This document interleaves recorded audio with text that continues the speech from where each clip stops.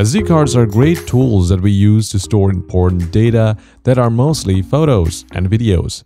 And yet SD cards are easily damageable and might not work at all. Other than that, if you deleted photos from an SD card accidentally, that's another mess that's on your hands. Now you need help and that's when this video comes to your notice, in which we'll teach you how to recover deleted photos from an SD card. So, without any further delay, let's get into the video. But before that, make sure you subscribe to our channel for more content just like this one.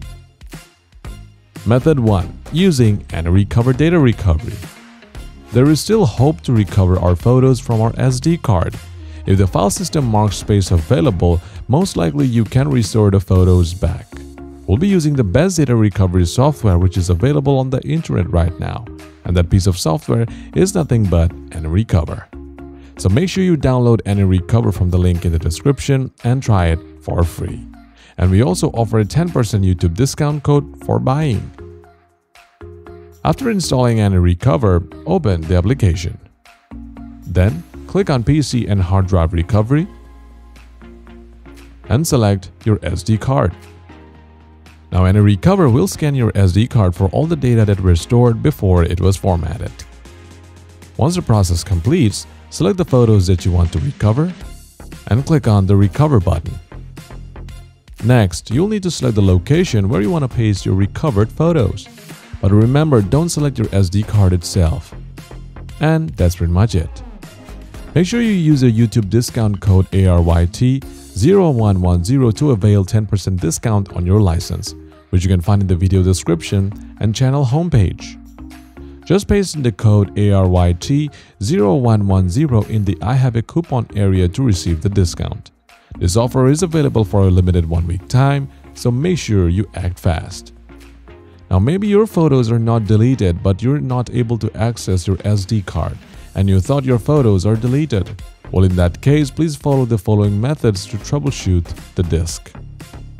Method 2. Reinstall the driver.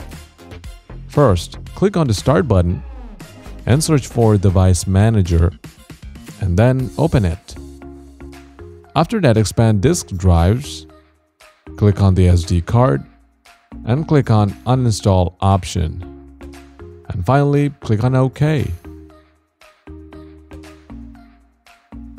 Now restart your computer and connect your SD card once again.